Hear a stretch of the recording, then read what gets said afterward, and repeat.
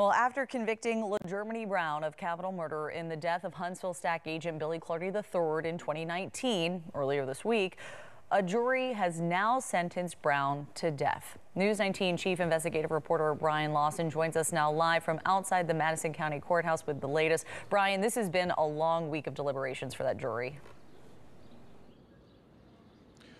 Right, so the jury deliberated for three straight days trying to decide on a sentence for LaJeromeny Brown. They told the judge this morning they were deadlocked. He urged them to go back and continue to try and sort it out. In the end, they did, giving Brown the harshest possible sentence death. Now, the jury's vote was 10 to 2, which is the minimum number for a death sentence. We spoke to the DA's office, the defense, and Clardy's fellow STAC agents about this a dramatic end to this case. If you kill a police officer in this community, there should be a price to pay. And, and uh, the death penalty was appropriate. They felt that way. Um, but it, it, it really speaks to how this community holds the, uh, the opinion they have of our law enforcement, which is, which is as good as there is anywhere. I thought, you know, for a while we had, we tried a good case and uh, did our best, and uh, I thought uh, we would at best uh, be looking at a hung jury.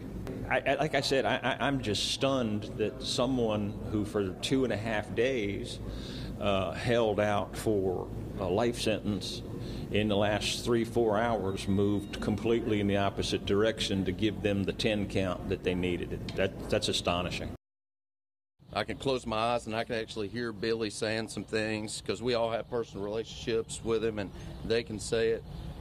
And I'm not going to share exactly what I think that he's saying and what he said through this trial process and the waiting, but I can, I know in so many words that he's telling the family and friends to rest. Hey, we won.